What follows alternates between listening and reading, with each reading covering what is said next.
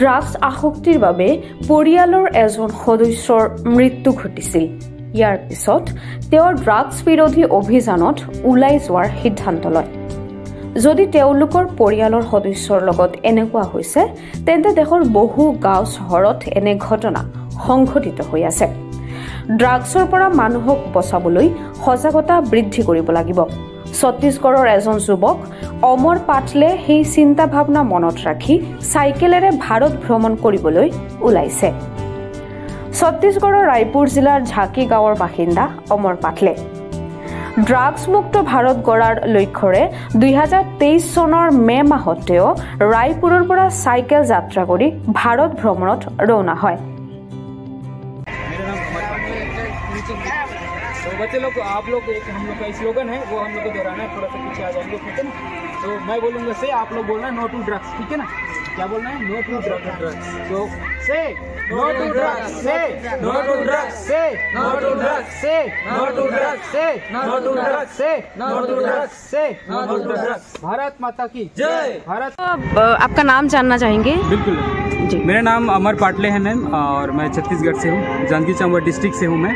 जी। और जैसे कि मेरा बोर्ड में देख सकते हैं ma'am Chhattisgarh to all India लिखा है और उस साथ में नीचे लिखा है से नो टू ड्रग्स तो यही उद्देश्य है कि नशा मुक्त भारत ऐसा मेरा परिकल्पना है और इसी को उसी उद्देश्य को लेकर के मैं पूरा भारत भ्रमण कर रहा हूँ।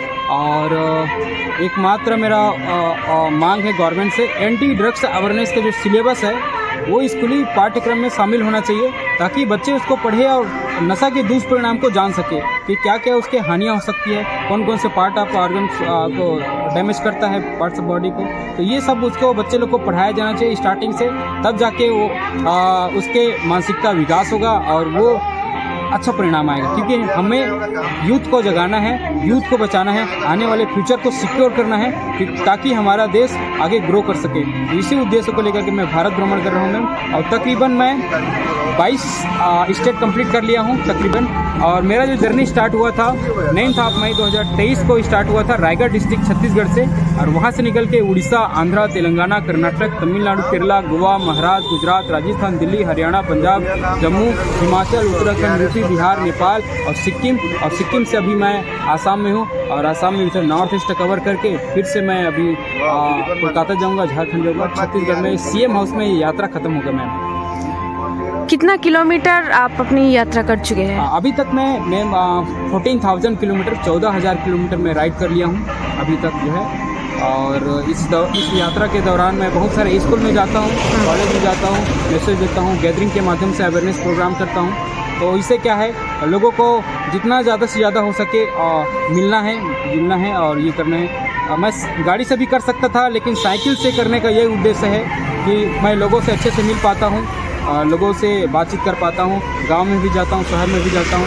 तो ये ये यात्रा बहुत अच्छे तरीके से चल रहा है। मैं ये यात्रा तब सफल माना जाएगा जब लोगों में चेंजेस आएगा, लोग परिवर्तन होगा तब जाके ये यात्रा सफल होगा। और मेरा मेरे द्वारा से आ, मैं अपील करना चाहता हूँ और आपके माध्यम से भी मीडिया के माध्यम से भी मैं अपील करना चाहता हूँ कि गवर्नमेंट को हमारे यूथ को बचाने के लिए इस नशा मुक्त समाज बनाने के लिए ठोस कदम उठाने की ज़रूरत है।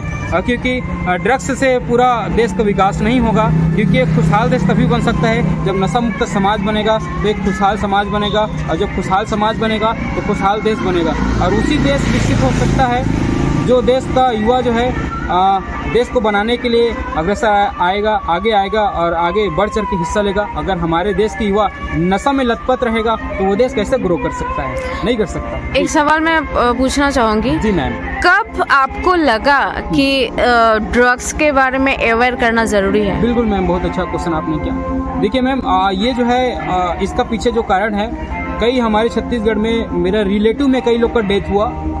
नशे की वजह से ओवर ड्रिंकिंग हो गया तो उसके किडनी खराब हो गया। तो इस तरीके से कई लोग का आसपास में मेरे गाँव में भी हुआ है और मेरे रिलेटिव में हुआ है। तो उस चीज़ को मैंने देखा और उसको देख करके फिर मैं सोचा कि नहीं, इसको हम आवाज़ उठाना पड़ेगा। अगर इसी तरीके से चलते रहेगा तो कितने परिवार का जान जाएगा।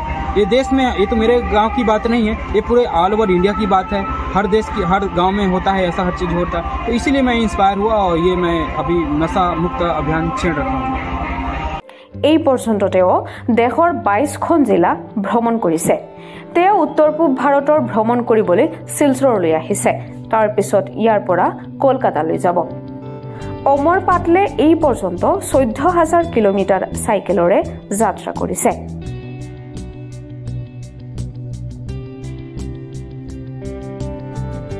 শিলচৰৰ পৰা আশী দাসৰ ৰিপৰ্ট লোকেল এইটিন